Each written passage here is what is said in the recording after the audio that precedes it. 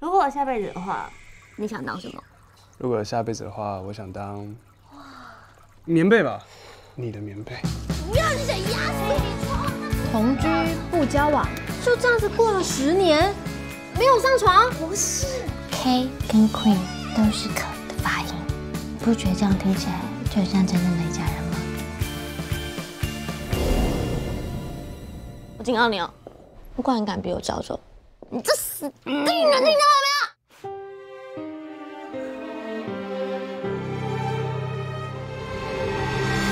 那有没有什么事情很想做，但你还没做到？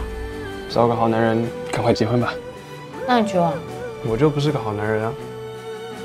我想认识你，你想认识我吗？